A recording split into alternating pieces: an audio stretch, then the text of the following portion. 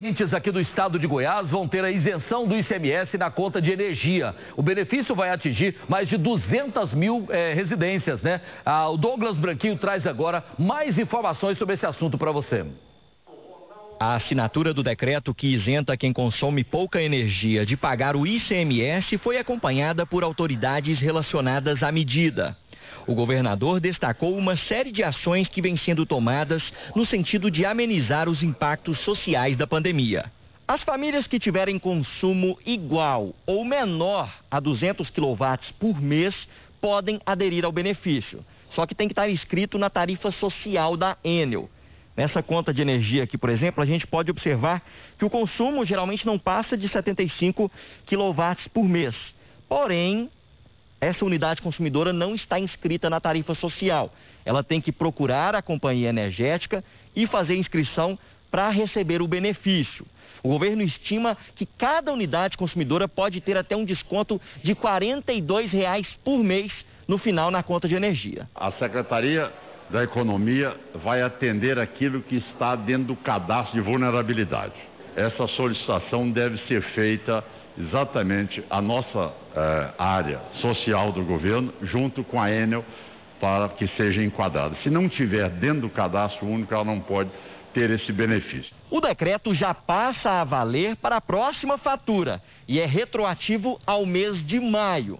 246 mil unidades consumidoras em todo o estado de Goiás devem ser contempladas.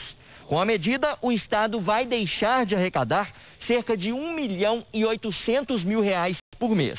Que consigamos aí, pelo menos por dois meses, que é o que o convênio estabelece, que a gente tenha aí uma isenção do ICMS para as classes pobres com 220 kWh. O presidente da Assembleia Legislativa destacou as ações do governo. Na área social, distribuindo cestas básicas e garantindo o alimento para os 246 municípios goianos para pessoas de baixa renda.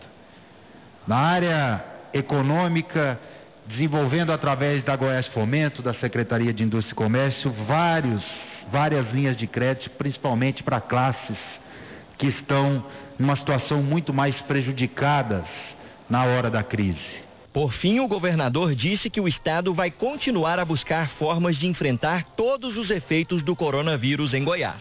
Graças ao apoio da sociedade, ao apoio das lideranças políticas, nós criamos algo que dificilmente outro estado que não tinha conseguiu, num tão rápido espaço de tempo, estruturar a rede de saúde, não apenas com ambulância, mas com a estrutura médica e, a, e todo o instrumental necessário para atender as pessoas e darem a elas medicina de qualidade e atendimento como se ela tivesse na capital do estado.